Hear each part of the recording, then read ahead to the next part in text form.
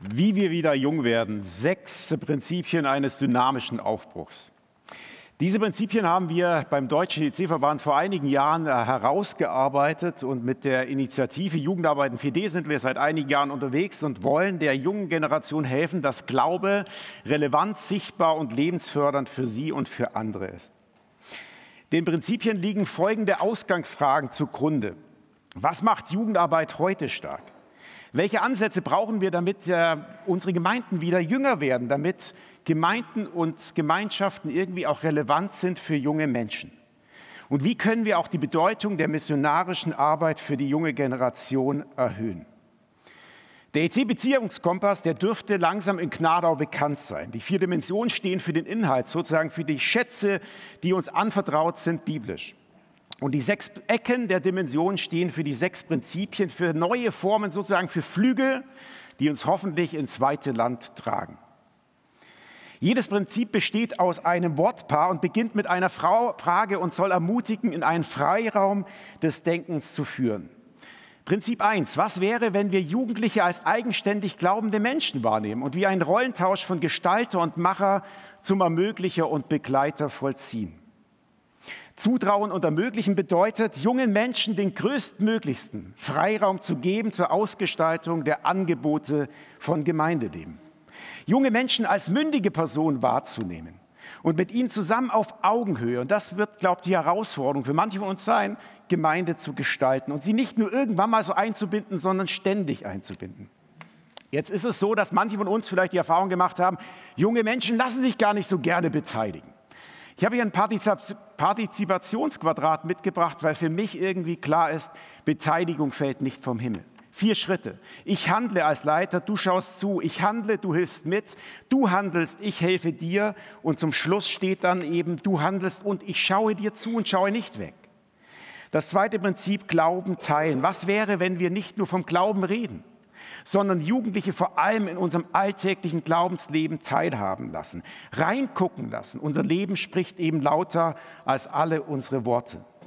Glauben teilen bedeutet nicht nur vom Glauben zu reden, das können wir gut, sind als gute Predigerinnen und Prediger ausgebildet, sondern vom Glauben glaubwürdig zu leben und zu reden.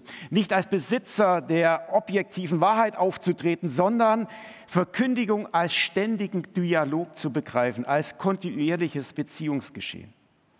Prinzip 3, Beziehung leben.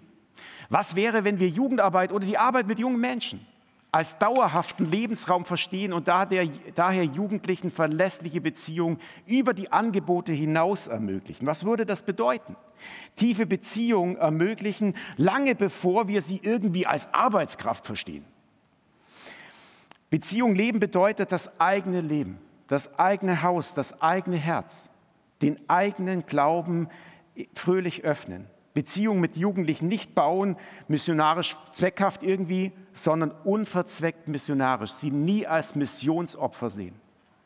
Das vierte Prinzip, was wäre, wenn wir den Glauben von Jugendlichen als Prozess verstehen und sie ermutigen, selbst mit Glauben des christlichen Glaubens zu experimentieren, mit Formen des christlichen Glaubens zu experimentieren. Experimentieren und selber glauben. Wie wäre es, wenn Gemeinden sozusagen ein göttliches Versuchslabor wären? Experimentieren und selber glauben bedeutet, den Glauben von Jugendlichen als eigenständig und berechtigt zu akzeptieren, auch wenn sie den so ganz anders ausgestalten als wir. Und Jugendliche dabei begleiten, dass sie ihre Formen des Glaubens integrieren können in Gemeinde, nicht mal nur, sondern ständig. Und wie wäre es, wenn wir nicht eine Co-Abhängigkeit als Leiter, als reife Menschen gegenüber den jungen Erwachsenen, gegen den Teilnehmenden erzeugen, sondern sie zu geistlichen Selbstversorgern erziehen, damit sie selber glauben statt nachglauben, damit sie selber denken statt irgendwie nur nachzusprechen. Prinzip 5. Sehen und hören. Wie wäre es, wenn wir konsequent den Einzelnen in den Blick nehmen und ihn bei der Suche nach Orientieren und Sinn persönlich begleiten? Gerade jetzt in der Corona-Zeit oder Post-Corona-Zeit, wer weiß es schon, es gibt so viele Menschen, die unter Social Distancing gelitten haben und Sehnsucht haben nach wahrer Begegnung. Konsequent den einzelnen Menschen sehen, den Jungen wie den Älteren, in den Blick nehmen und sie begleiten in der Suche nach Orientierung. und immer wieder nach den Lebensbedingungen junger Menschen fragen, Mentoring, Seelsorgekompetenz aufbauen, weil One-to-One meiner Meinung nach das Angebot von Gemeinde heute ist. Und das letzte Prinzip, kommen und gehen. Wie wäre es, wenn wir die eigenen sicheren Räume verlassen und Jugendliche mit der guten Nachricht von Gott dort aufsuchen, wo sie sind, im wahrsten Sinne missional. Hingehen und dort bleiben und auch dort Gemeinde bauen. Kommen und gehen bedeutet, die Haltung aufgeben, zu glauben, dass Menschen nur erreicht werden, wenn sie zu uns kommen, zu unseren hippen Veranstaltungsformaten. Und von der Hinwendung Gottes lernen von der Messio Dei lernen und die Bereitschaft entwickeln, das eigene sichere Terrain zu verlassen.